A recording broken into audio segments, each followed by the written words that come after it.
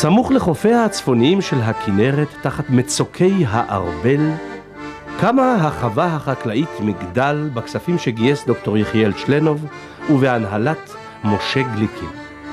כאן מתחיל יוסף טרומפלדור להגשים את רעיונותיו לחיים שיתופיים בארץ ישראל ומקים קומונה קטנה של פועלים עם צבי שץ וחבריו מרוסיה.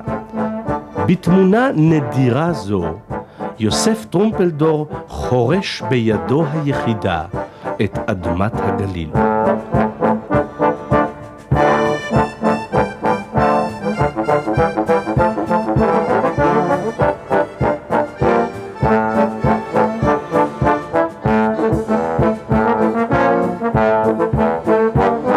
זו הייתה תשובת החלוצים לכיליון ולתמיעה שבגולה.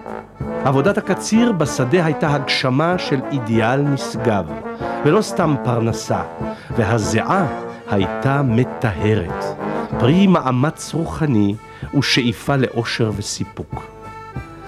הקומונה של טרומפלדור התפרקה לאחר שהתנהלה במשך שמונה חודשים על פי תקנון תאורטי נוקשה שלא התאים לחיים בארץ ישראל. רק כעבור שמונה שנים לאחר נפילת טרומפלדור בתל חי, קמו אנשי החלוץ להגשים את רעיונותיו.